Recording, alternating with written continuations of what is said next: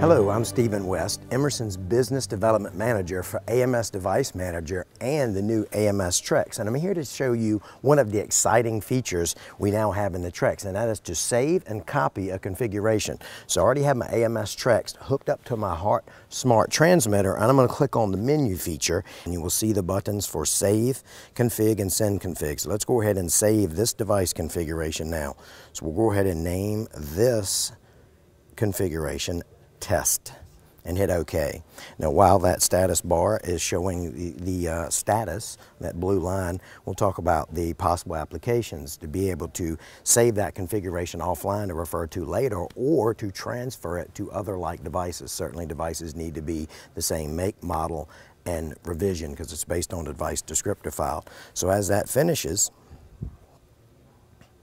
we will see that now we have saved that configuration. So to talk about the application of now uh, using a previously saved configuration to configure this device, let's hit send config. And now there's the test configuration that I just did, but two that were already provided for me are a template in inches of water and a template in PSI. Let's go ahead and select the PSI template.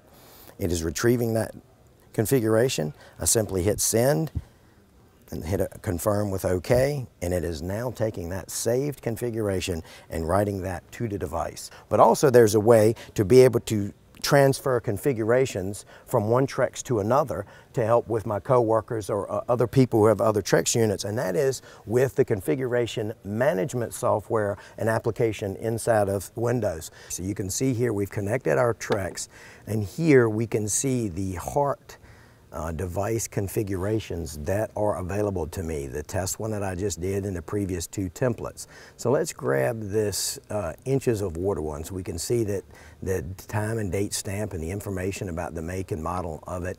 I can select this particular one and hit the arrow to write that and that is simply and quickly taking that device template and that device configuration from my Trex and stored it on my PC where now obviously I can print it or I can now connect another or any number of Trex and move that configuration to those Trex to help my coworkers to be able to very quickly use that template in doing their job. So again, save and copy configuration from the new AMS Trex device communicator. I'm Stephen West, and for more information, please check out our website.